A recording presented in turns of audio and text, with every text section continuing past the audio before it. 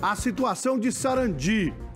Ontem eu comentei no programa que o povo iria fazer um manifesto. Só que eu falei na hora do almoço tinha que esperar o momento da reunião da Câmara de Vereadores para saber se ia ter o protesto ou não. Teve o protesto. O povo foi para a Câmara de Vereadores ali de Sarandi. Aí também foi a Guarda Municipal, a Polícia Militar, segurança de tudo quanto é tipo. Não permitiram que o povo, a maioria da população de Sarandi, entrasse no plenário da Câmara. Somente acho que umas 70 pessoas, o resto ficou lá fora, no meio da chuva. Mas o povo não arredou o pé, não. Eles queriam falar e olhar nos olhos dos vereadores ali de Sarandi. Um projeto que foi aprovado no ano passado para ver a situação sobre a planta venal ali do município e depois com esse projeto o carnê do IPTU e da coleta de lixo chegou e o povo de Sarandi teve uma surpresa desagradável. Preço lá nas alturas para pagar tanto do IPTU como também da coleta de lixo.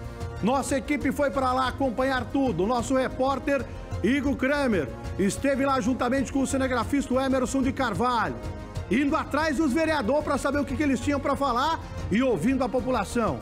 Vem comigo, Sarandi, nós estamos com o povo aí, hein? Coloca a reportagem no ar.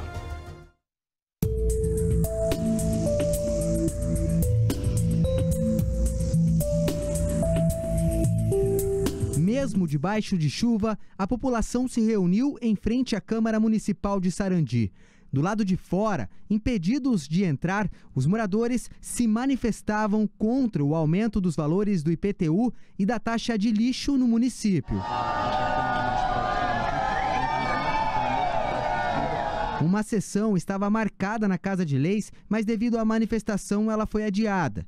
Com o povo indignado, apenas os vereadores que votaram contrários à proposta saíram para conversar com os moradores. Uma das coisas foi assim, a gente pediu que, que tivesse uma audiência pública juntamente com a comunidade, os presidentes de bairro, os padres, né, que representam a maioria da população aqui em Sarandi e eles disseram que não era necessário, que o que eles estavam fazendo era uma correção do IPTU.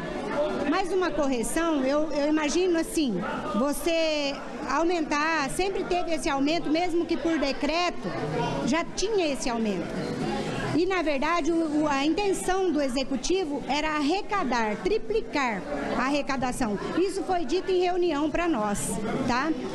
E quando eles não aceitaram fazer uma audiência pública, eu disse que eu não estaria, eu não estava de acordo, que eu estava junto com a população, que a população que votou em mim e eu não ia trair o povo. Ah, eu acho que a situação, o momento pós-pandemia, eu acho que, pra, na minha opinião, não era a hora e o povo estava é, muito sofrido.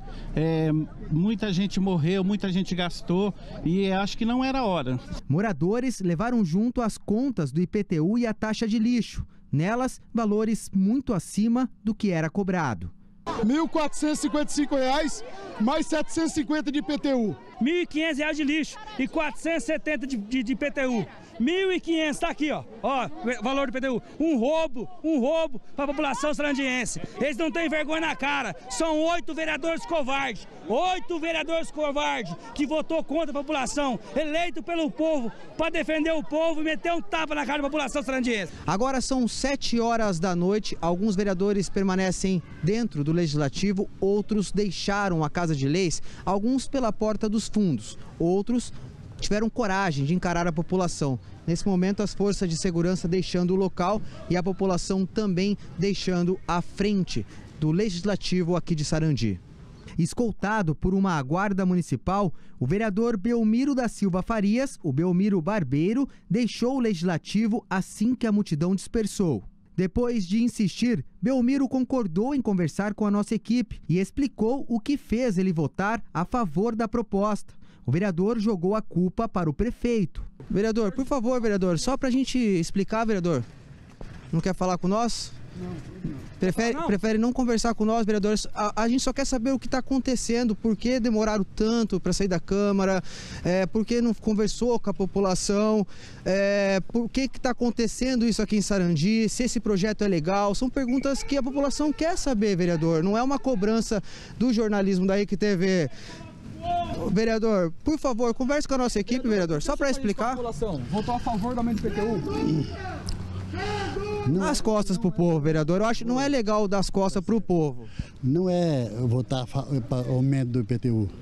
Foi corrigida a planta genérica do município, foi votado para regularizar. Mas lixo absolutamente não passou pela Câmara. Vocês podem fazer o maior levantamento que vocês quiserem. Não passou pela Câmara, não passou. Eu provo que não passou taxa de lixo. Não foi votado. O prefeito fez e veio para a Câmara. A nossa equipe não teve acesso ao legislativo e não conseguiu conversar com os demais vereadores que foram favoráveis ao projeto. O projeto de lei que prevê o aumento da taxa do IPTU e do lixo em Sarandi é do executivo, mas foi aprovado em primeira discussão no legislativo, em uma sessão bastante calorosa. Deixa eu explicar, deixa eu falar. Pessoal, vocês têm que ouvir. Se vocês querem que a gente ouve vocês, tem que jogar ouvir. Pessoal, todos têm que deixar ouvir, por favor. Pessoal, nós temos que deixar ouvir. Se não fazer isso, a sessão não dá para dar continuidade.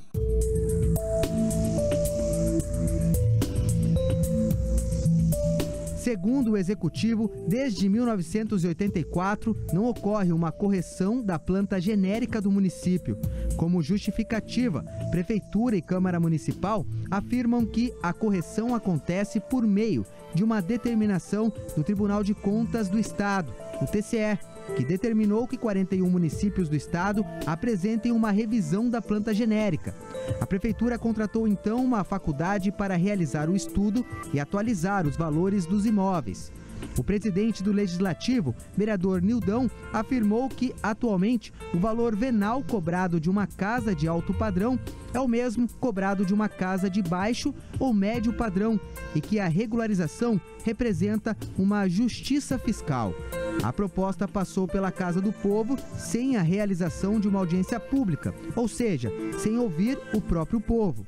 Com isso, vestido de palhaço, esse morador diz representar o sentimento da população de Sarandi.